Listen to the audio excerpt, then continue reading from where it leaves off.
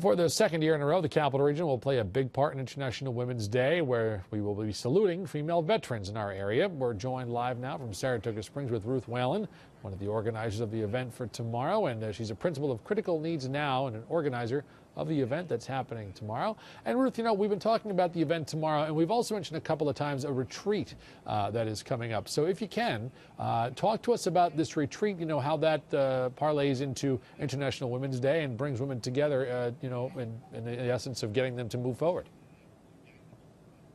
Sure, there are a couple of things. Uh, First Friday is an event which is New York Celebrates Women, and it's a fundraiser for Wiawaka, Wiawaka is a retreat for women that's been around for more than 100 years up on Lake George. And one of the things that Wiawaka, which by the way means spirit of life, which is one of the things we honor on International Women's Day, is the spirit of women, not the spirit of life.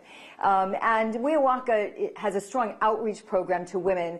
Um, anyone can go and experience their uh, programs that are um, but, but they have special outreach programs for special populations such as women, uh, cancer survivors, survivors of domestic violence, um, and in particular women's veterans. And they have an amazing program, a weekend retreat for women veterans.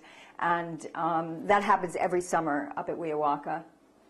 It's, it, something else that's going on on Friday that's tied to that is uh, if you come to the event on Friday, there's, a, there's an exhibit, a photographic and a writing exhibit by homeless women veterans. Um, and it's between the women's retreat at Wiawaka and opportunities such as this art exhibit where women have the opportunity to express very often suppressed emotions uh, through the arts and through other healing um, avenues. It's, it's a very moving and a very meaningful thing to see and right. to experience.